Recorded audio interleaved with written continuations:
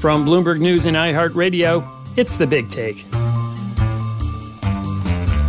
I'm Wes Kosova. Today, confronting the rise of extremism in the world of online video games.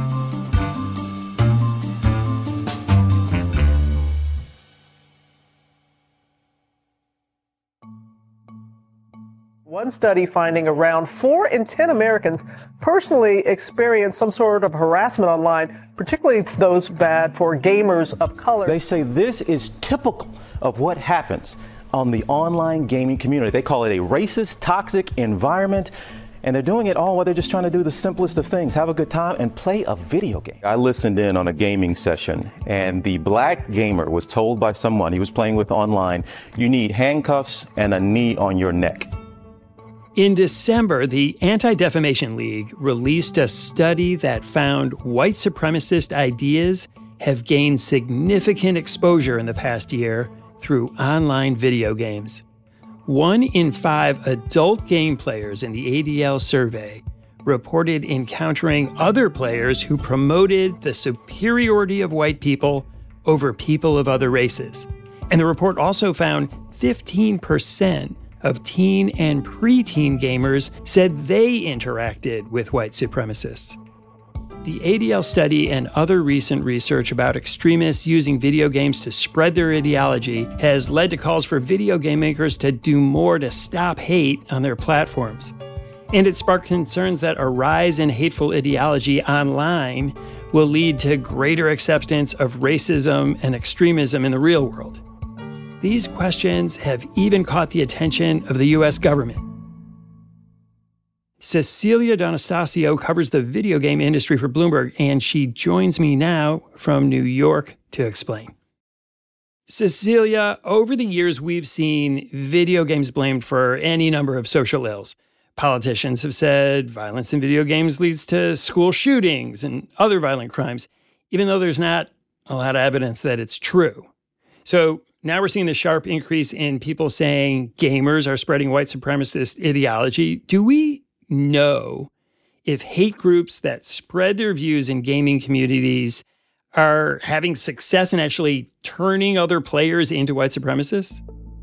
Yeah, I mean, there's been such a long history of this with video games. There's the Satanic Panic, even with Dungeons and Dragons, which is a pen and paper game in the 70s. There's this idea that video games um, inspire people to commit violent acts in real life, which has been disproven over and over and over again in decades of studies, including amazing longitudinal studies by amazing researchers.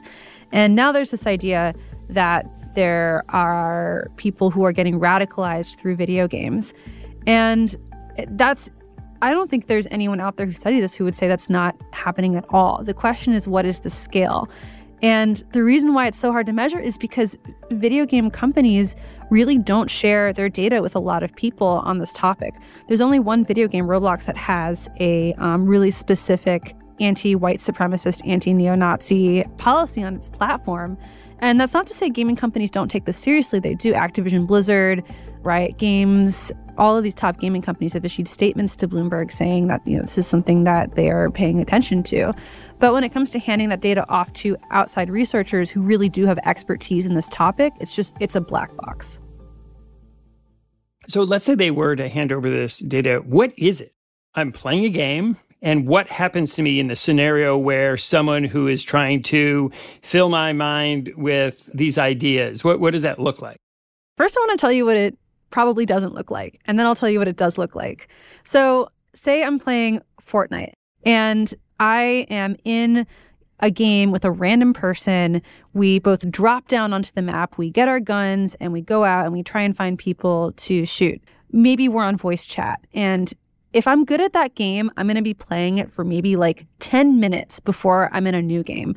But if I'm the average person, this stranger that I meet in the video game has like three to five minutes to pitch me on their views before, you know, we are just kind of gone forever into the abyss and we never encounter each other. So it's as you're playing the game, you're carrying on a conversation. So it's like uh, that's part of the appeal is that you're actually reaching out to real people as you're playing this game. Video games are communication channels. That's correct. And it's a great way to meet people online. But at the same time, it's unlikely that you are going to, in the span of three to five minutes, be converted to have these really heinous and dangerous beliefs. What's more likely is where you do meet people through a video game who also have these beliefs, and over time, being exposed to them, they become normalized for you. And depending on your background, depending on your beliefs, your family situation, these beliefs might appeal to you and you might adopt them yourself. And that's something that can happen through playing a video game with someone, through talking to them on Discord, through communicating with them over Reddit or Facebook or Instagram or anything. The question that researchers are trying to grapple with right now is to what extent is this a video game specific issue versus a social media issue that's more generalized? Have you found in your reporting that the kind of approaches that you describe can draw people in? Absolutely. I published a feature with Wired Magazine in 2021 about an individual who goes by Ferguson, and he was playing Roblox, which is one of the most popular games around right now. 59 million people play Roblox every day. And when he was 11, he's now in his 20s, he encountered somebody on Roblox who was running these military drills. They, he would just sort of run around in circles for hours and hours and hours, and he could only say, Yes, no, sir. And he became connected to this individual who we in the story called Malcolm. And over time, they began to kind of engage in these role playing scenarios through avatars in these video games. And they really liked playing the bad guys. This individual, Malcolm, who Ferguson was introduced to, was also someone who was very much an internet edgelord somebody who generally is very much online, who kind of trades in inappropriate memes and has a really edgy sense of humor and is very intentionally irreverent, spends a lot of time on 4chan, spend a lot of time trading in very inappropriate and offensive memes. And 4chan, of course, is this online uh, chat group, which is sort of overrun with some pretty nasty stuff extremely nasty stuff, really, really heinous stuff in some instances. Ferguson, Malcolm, and several other people ended up being a part of this group that included at some point 20,000 people role playing ancient Rome. And they had all of these laws that kind of, in the end, amounted to fascism. They had degeneracy laws that outlawed homosexual relationships. They were anti Semitic in a lot of ways as well.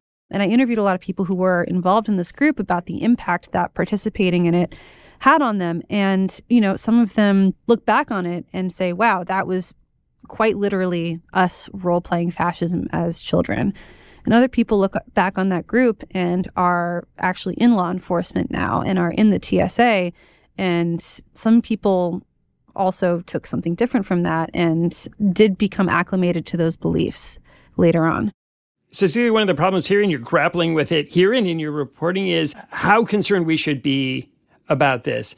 Uh, years ago, there was the Gamergate revelations where women gamers, women game developers were under just absolutely vicious attack from certain male gamers who didn't want them in their world. That had real world consequences, and there was a backlash from it.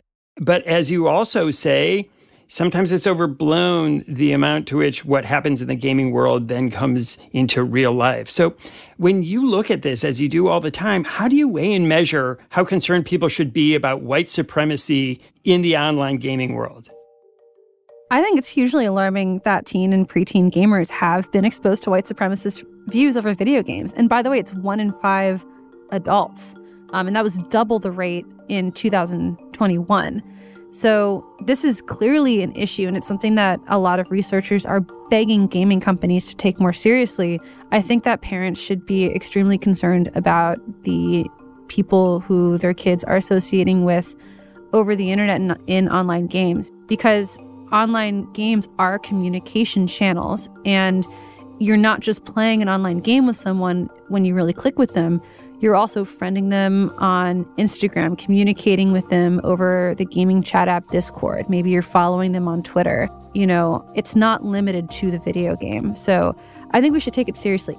At the same time, I think it's really important to understand exactly what we're talking about, which is not an issue that's localized to video games, but an issue that is integral to the nature of social media. There are a lot of companies out there that have huge populations of users and don't think about moderation up front, don't think about how to cultivate communities that are inclusive and not harmful. And that's a major design problem and a major philosophy problem that we've seen on Twitter, on Facebook, everywhere on the internet. And gaming companies are not at all excluded from that. Cecilia, you don't just cover the gaming industry, you play games a lot yourself. Have you encountered this sort of thing just in your playing of these games? Yeah, I mean, you can tell that I have like a feminine voice. And so when I play video games over voice chat and I really like playing competitive games in particular, I have received a lot of comments that I would describe as heinous and unwelcome when I'm just trying to sort of hang out after work. And a lot of people experience that based on the way that their voice sounds or details that they share over video games. And it's on gaming companies to create more inclusive environments where people can feel safer just enjoying their hobby after work. It's something that's pushed a lot of women and minorities out of gaming culture. And that's not fair because half of gamers are women. And a lot of us will just sort of do it in private and play single player games. Um, I've talked to a lot of women who don't play multiplayer games, even though they enjoy them, because in order to be good at the game, a lot of the time you do have to be communicating with your voice, and they just don't want to deal with it. And so, how do you design a game to do that? Is it that it shuts you down if you use a certain language or um, behavior? It's kind of the million dollar question. It's probably a multi million dollar question at this point. But what scientists say who study this is that if you make it really easy to report people in video games and make the report forms extremely easy to decipher, both for the person who is reporting and the person who takes the report, more people will actually participate in that system. Plus, if you give people positive reinforcement for doing a report, so for example, if you tell them, like, hey, that person you reported was actually banned later, they're going to feel like the loop was closed and they were rewarded for doing a good thing. Where do you see this heading? Do you think that gaming becomes a kinder, gentler place in the next three years, five years, or do you think that things become more abrasive? I think it's going to go in both directions because, as we saw with this Anti Defamation League survey, exposure to white supremacist beliefs inside of online games doubled between 2021 and 2022 that is a huge issue and alarming and definitely points to the need for gaming companies and potentially even politicians to address this. At the same time, never before in history have gaming companies taken as seriously the need to moderate their platforms on the level that social media companies moderate their platforms. Gaming companies have hired cognitive scientists, sociologists, experts in extremism to keep their platforms inclusive um, so everybody can enjoy their games and everyone can also buy their games. It doesn't seem, though, according to this Anti Defamation League survey, that gaming companies are doing anywhere near enough to mitigate the exposure of white supremacist beliefs to gamers and young teens. Cecilia D'Anastasio, thanks so much for talking with me today. Thank you for having me when we come back showing game makers how to stamp out extremism.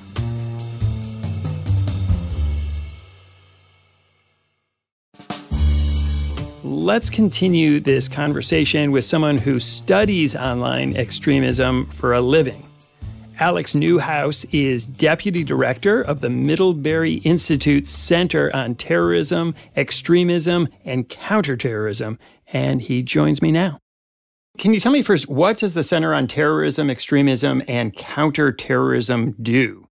So, our sort of like top level elevator pitch is that we're a mixed methods research center that's operating at sort of the emerging tech, emerging trends space in uh, especially right wing extremism, but also extremism broadly. And what that means is that we specialize in primarily the study of online extremism on things like social media platforms, uh, alternative tech platforms, and also video games. So today we're of course talking about extremism um, on online gaming. And last September, you got a grant from the Department of Homeland Security to actually study this. What is that money being used for? Yeah, we got awarded almost $700,000 to run a project that is actually going to developers, game developers across the country uh, and also in Canada, to talk with them about their processes and knowledge and awareness of the issues of extremist exploitation in games. So, broadly, what we're trying to do is create basically a baseline for understanding one, how prevalent is extremism in games, because that's still a pretty open question, and two, how prevalent is knowledge of these things at the game developer levels? How do they think about the issue of extremism in games? And is there some way that we can actually help them get better and build capacity and understanding how to resist that? So let's take those two things apart because they kind of are the big, the twin problems. In your research, how prevalent do you find this online extremism, these ideologies are in gaming? So, one thing we absolutely know for sure is that white supremacists and far right extremists in general, especially the very, very extreme ones, we're talking like accelerationist actors, the ones who literally believe in bringing about the apocalypse, are actively using all sorts of different games for the purposes of identity creation, communication, organization, recruitment, those kinds of things. But one of the things that we're trying to do in this project is just figure out like what is the extent of that because right now we know that they exist we do not know the actual sort of extent of it, the volume of it, and the prevalence of it in these games. So when you say they are participating in these games, using these games, what exactly are they doing when they're on the gaming platforms? It really depends on the type of games. So a lot of games, especially the the creation ones, will have some types of social networking features in them. For instance, the use of groups, which are like clans or you know like small small you know sets of individuals. The names of those groups are references to white supremacist terrorist organizations. And these are the actual characters that you're role playing in the game. Right, and the types of like organizations that the players are creating and coming together to form. So we've seen everything from like an individual user's username that references the Christchurch, New Zealand mass shooter, all the way up to like entire groups of hundreds of individuals that are references to like 1970s white supremacist terrorist organizations or designated far right terrorist organizations throughout the world. So that's obviously like the big one, like this sort of use of all of the different features of a game for the purpose of promoting and organizing their activities. But we also see some like more minor indicators. For instance, I've found references on like the Call of Duty leaderboard, just in usernames on the leaderboard to like Heinrich Himmler, Adolf Hitler, Nazi regime. So it really runs the gamut one of the big challenges for me in tracking this is like there are so many different vectors of attack and vectors of misuse on these games that it's actually hard to kind of get a handle on. So that's what they're doing online and how they're using these games. And the second part you mentioned was how aware the gaming platforms themselves are of it and what they're doing to counteract it. Absolutely. And this also is a huge spectrum. Uh, there are many different types of game developers that range in size from a single person all the way up to the big ones that have tens of thousands of employees across the world. And so, sort of correspondingly, there's going to be a huge range in awareness of these issues. But overall, what we find is that video game developers as a whole aren't thinking about these issues in the same way that like Facebook and Google and Microsoft are in general. And that's because the social networking aspects of games, the the vectors that they exploit in games are sort of secondary to the central aspect of games, which is actually like the playing of it and the mechanics of the game that you're interacting with. And so as a result, the the moderation of those social network features, the awareness and the the policies that are in place to mitigate exploitation of them has been sort of secondary compared to the big social media companies a lot of this project is filling in those gaps is trying to connect different companies together and then also show them that like hey this is a huge problem. It's probably increasing in prevalence and this isn't going to go away on its own. And what's the response from the gaming industry when you go to them and say hey we're doing this project. We're going to try and come up with best practices to get rid of this help you out. Are they very eager to work with you it is uh, it, it's a mixed bag. We have found um, some developers are very very eager to work with us. Others sometimes have to be a little bit scared into it. And this is something that my research center works in the tech sector as well. Is you know there are some companies that are fully aware of the problem and actually actively come to us and ask us for help in getting a handle on it. And there are others that we have to put together a suite of examples that say, hey, do you know that there's a designated terrorist organization operating on your platform currently? And they say no. And then we're like, hey, we can help you deal with that. If we don't have that sort of the, the aspect of giving them examples and, and telling them we're here to help you, we're not here to tear you down, uh, a lot of times we will get a bit of a cold shoulder. As awareness of these issues increase and coverage of them and, and public pressure on these companies increases over time, that has been changing. And we have seen a lot more cooperation over the past even six months uh, relative to the last year. But we do still find that there is a reticence on the part of some people in the games industry to address these issues. It's easier in some cases to ignore it and hope that it doesn't exist than it is to take it on and acknowledge that you have a bunch of potential terrorists using your platform. You would think that a gaming platform would really want to stamp this out rather than allow its uh, game to become a place where toxic culture spreads, which can't really be very good for business. Right. And that's one of our big arguments is that this is absolutely a huge negative uh, aspect and, and has a massive, massively negative impact on the health of the community that they're trying to build. The problem is that, you know, putting together a trust and safety team from scratch is very expensive and building content policies to try to address these kinds of things in a more nuanced way can be very expensive. One of the things that we've noticed is that with this Homeland Security grant, with the backing of the US government and with the space to actually go to companies and say, hey, we want to help you, you don't have to give us money. Um, we want to help you build these best practices. There's more appetite for it. Turns out people like to uh, get some help, if especially if they don't have to do it alone and they don't have to spend a ton of money on it. The reaction has been pretty positive. We found a lot of people in the games industry to be willing to confront that kind of process. We'll be right back.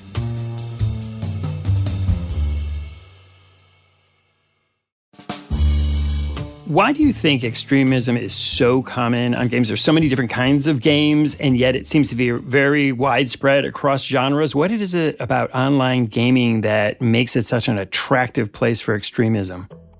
There's two elements to this. So the first one is the more straightforward one, which is that, you know, generally most of the individuals who are participating in them are young. They're under 30 in the vast majority of cases a lot of the accelerationist groups that we study were founded by teenagers and recruit teenagers right out of high school. And ultimately, teenagers are spending a lot of their time on all sorts of different games. And it's just a nature of where the mainstream youth culture goes, so too do extremists. This idea that games provide some sort of unique social bonding opportunities is is a very powerful one and it has been used and studied for years on the positive sense of like friendships are made in games more easily than they are in other types of social media and that kind of thing. But we've just recently started untangling the negative aspects of that, the potential for those really strong social bonds to actually have that sort of darker element to it. Extremists don't have, you know, all this social science data to back them up, but there is this sort of sense among them, and I've seen this in chat rooms, that games provide this sort of particularly amenable area for recruitment, for mobilization, for radicalization, for getting people into that frame of mind to be more amenable to carrying out violent action or to be more dedicated to the cause of the extremist organization. You know, one of the arguments that um, people in the gaming community have made for years, and I think it's backed up by research, is that playing video games doesn't necessarily cause violent behavior in real life. Is the idea of recruiting people into extremist groups to bring them into extremist ideologies different from that? The studies have backed up this idea that like playing violent video games, the consumption of violent content does not have a direct link to violence in the real world. What we are currently working on right now is a more indirect, more sort of amorphous relationship. We're not focusing on content necessarily, really at all.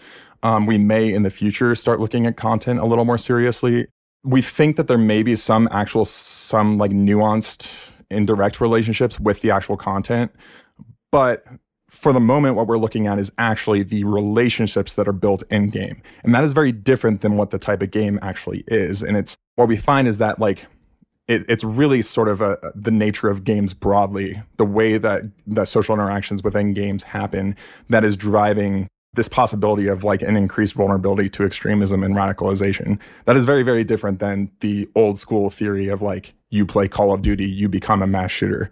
Um, really, what it's talking about is like you are more likely to find the type of community and to be primed mentally to be integrated into those types of communities that have a penchant for promotion of white supremacy or inciting real world violence than you would if you weren't playing games to that level we're still in the very nascent stages of untangling these types of correlations, and they're probably going to end up being very complex. But we're starting to get a sense of like, there is definitely something going on in the video game space that is unsavory and that is not something that we want to promote. there's this whole setup, there's this whole mental state that you enter, there's this whole set of social interactions that you encounter in games that may predispose you to being more likely to be radicalized. It is estimated that women now make up about half of all gamers. And yet, women and girls say they're still treated like a minority and often face harassment. In addition to extremism, uh, for many years there's been a problem of hostile environment to women, to LGBTQ uh, game players. Is that something that you're also studying as a part of this look at the culture of games? Yeah, absolutely. What's really fascinating is that we've known for decades that game culture has an unfortunate close proximity to toxicity and especially sexism, misogyny, anti LGBTQ action, those kinds of things. The study of extremism in games is relatively new. The study of toxicity in games has substantial history, so we can kind of use the study of that, of toxicity, as a proxy for finding indicators of extremist activity 20 years ago, 30 years ago, even though people weren't thinking about it in the same way then. Um, and the reason for that is because toxicity is, in a lot of cases, a tactic used by extremists for a whole host of things for encouraging participants to be more primed to getting radicalized, for undertaking their own ideological goals. Harassment and hate are tools used by white supremacists for the purposes of intimidating their enemies and encouraging their sort of in group to be more collaborative with each other and more loyal to the in group um, rather than the out group. That isn't to say that all toxic players are extremists. Rather, toxicity is just one set of tools that are used by extremists pretty frequently and often very frequently in games. In the 2000s, when coordinated harassment campaigns were first getting innovated, a lot of times they were getting innovated in games spaces like early virtual world sims, early social networking games like Second Life, and other types of games like that. That was where these like decentralized networks of, of toxic actors would be coordinating and, and carrying out their campaigns of harassment. And so a lot of what we see in toxicity broadly across the internet was really innovated in video games. So there's a really fascinating relationship there. And a lot of those people early on who innovated the, the toxic actions ended up becoming right wing extremists later on. I suppose if you're a person, especially a young person who does not feel very powerful in your regular life, coming into an online world where you can essentially be a bully of others can make you feel powerful? Yeah, and you have all these networks, both in game and in the game adjacent spaces, that are telling you that what you're doing is right and celebrating you and giving you friendships and giving you that sort of like those dopamine hits of positive social interactions. One of the things I always remind games industry people is that this focus on toxic content is great and we need to crack down on it. But the problem is toxicity is a negative relationship. Like the person carrying it out is trying to make the target feel intimidated, is make them feel bad. And so self reports are easier to generate and take action against. Radicalization, so the person who carries out the harassment then gets radicalized by a community who's celebrating them. All of those radicalization interactions are very positive. The target of the radicalization is supposed to feel welcomed. They're supposed to feel connected. They're supposed to feel rewarded. And that is really, really hard to detect solely from like self reports or from a reactive sense because if you feel good you're not going to report a radicalization attempt to the game developers so absolutely there's this huge interplay there between toxicity on the one hand and then the networks of people who are trying to recruit the toxic actors into their networks you spend a lot of time looking at the darkest side of online gaming. Is there any reason for optimism? Is there anything that makes you actually feel hopeful about what can be done? I'm a huge gamer. Like I've been a gamer my whole life. And one of the things we've seen borne out by the research is that games are incredibly positive. Like a lot of the interactions, a lot of the unique characteristics that I was just describing are more generally and more often very, very positive. Extremism is a fringe thing. It is a minority of individuals who end up in extremism. So one of the optimistic sides here is that for most people, the interactions in a game are positive. Like you, you end up in good pro-social relationships and, and connections. And for people who might be, you know, lonely or introverted or having trouble making friends in the real world, games can be a really, really powerful tool for, you know, surmounting some of those obstacles. And they have been for, for, you know, tens of millions of people throughout the world. And so the big challenge then is how do we make sure that we're maximizing that that positive impact, maximizing the the conversion of people into pro-social actors. and minimizing those types of people who might be more vulnerable to the darker sides of it. And I think that question is solvable. Like, I think we are seeing a lot of companies do a lot of investment in incentivizing pro social behavior uh, and in having some of the more like more types of content moderation that are designed to encourage and reward good behavior rather than just crack down on bad behavior. And I think there's some really encouraging signs from the industry that they're moving in the right direction there. And my hope is that with this project, we can help galvanize that a little bit more. Alex Newhouse, thanks so much for taking the time to talk to me. Thanks for having me on. You can read more of Cecilia D'Anastasio's reporting at Bloomberg.com. Thanks for listening to us here at The Big Take. It's a daily podcast from Bloomberg and iHeartRadio. For more shows from iHeartRadio, visit the iHeartRadio app, Apple Podcasts, or wherever you listen. And we'd love to hear from you. Email us questions or comments to bigtake at Bloomberg.net. The supervising producer of The Big Take is Vicky Vergolina. Our senior producer is Catherine Fink. Our producers are Mo Barrow and Michael Falero. Rafael M. Seeley is our engineer. Our original music was composed by Leo Sidran. I'm Wes Kosova. We'll be back tomorrow with another Big Take.